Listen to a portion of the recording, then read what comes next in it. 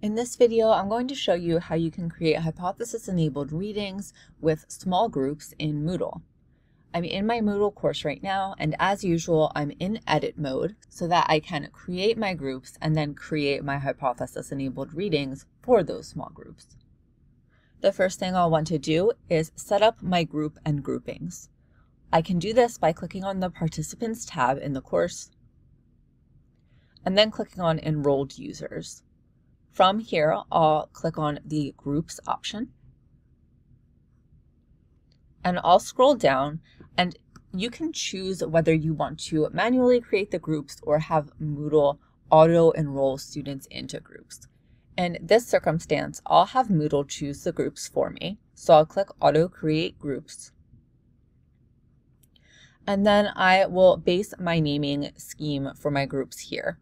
So if you hover over this question icon, it will tell you how it would like your groups to be structured. So you can see it wants you to include a at symbol or a hashtag in order in order to indicate which group naming conventions will be used. So I'll type in my group name here with the naming convention I'd like.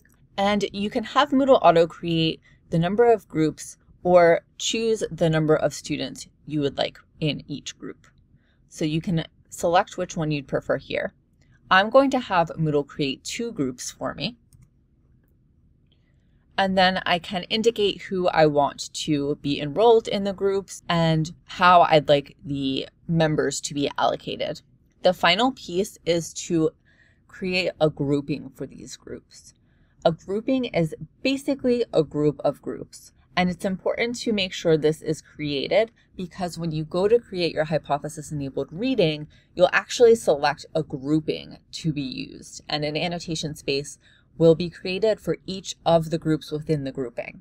So I have expanded my grouping area here and I can input that I want a new grouping and put in my grouping name. From this point, I can click submit and I will have created both my annotation groups and the grouping that they are contained within. Now that the groups are created, I can return to my course to create my hypothesis-enabled reading. I'll scroll down to the module in which I'd like to add the hypothesis-enabled reading, and then click the Add Activity or Resource button. Then I will find hypothesis in my list of activities and resources, and your process here could be a little bit different depending on whether or not your institution is using deep linking. So if this page does not look quite the same here, you might want to review our video on creating annotation assignments without deep linking. But there will be similarities to the process here. So at this point, I'll click Select Content. And from here, I can select where I'd like to grab my hypothesis-enabled reading. In this case, I'm going to use a file I've loaded into my Moodle course.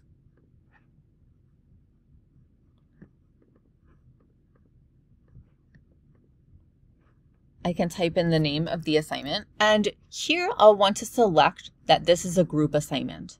And when you get to the screen, whether you're using the deep linking process or not, you'll see this option. Leaving this blank will mean that everyone in the class can see each other's annotations.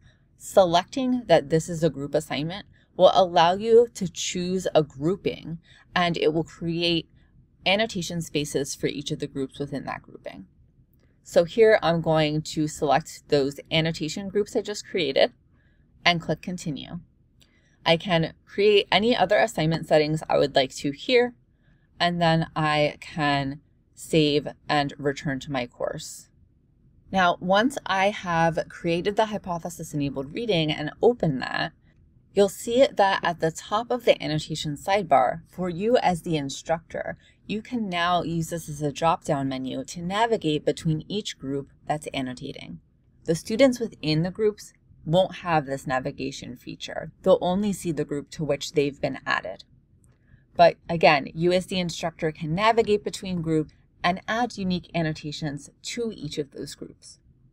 So if I were to add an annotation to group one here and post this to annotation group one, when I navigate to annotation group two, it won't be visible there. That's the basics of how you can set up hypothesis enabled readings using small groups in Moodle.